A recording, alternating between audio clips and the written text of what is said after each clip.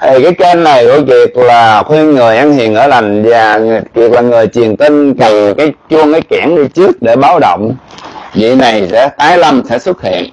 Thì trong kinh thánh của bên khải quyền, bên công giáo đó, thì cũng có nói đó. Nhưng mà hôm nay, trong đó cũng có nói, đến khi ta xuất hiện chứ mà các ngươi các ngươi cũng không biết. Thì hôm nay kiệt là cái mặt về kiệt cũng cố gắng để nói cho quý vị biết là tại sao Chúa chọn kiệt mà không chọn những nhà thần thông thông thái ông cha hồng y hay là đức giáo hoàng để mà nói mấy cái chuyện này. Là gì?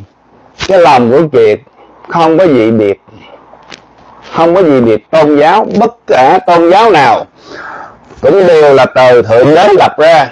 Cha là thượng đế thì đức chúa trời của công giáo là một cái thân cây bao nhiêu nghìn năm á thì một cái nhánh cây nó mọc Phật giáo là một cái nhánh cây, Hồi giáo là một cái nhánh cây, Ấn Độ giáo là nhánh cây, à, Cao Đài giáo là một cái nhánh cây, rồi tới à, Hòa Hảo giáo, à, Vũ Sơn Dừa Hương, tất cả đều là nhánh cây và bông hoa trong một cái thân cây của Thượng Đế.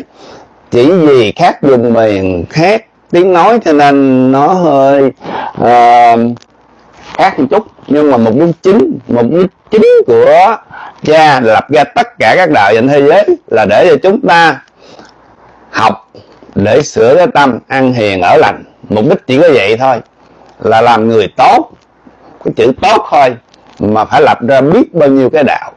Nếu vô tình hôm nay biết chữ tốt, thì đâu có đến nỗi mà hôm nay nghe là thua te tưa, thua đến nỗi là cả thế giới tẩy chay bây giờ thì còn à, sợ quê mắc cỡ lầm lì đánh à, cầu cưa chứ. Thật sự trong lòng đã biết thua rồi.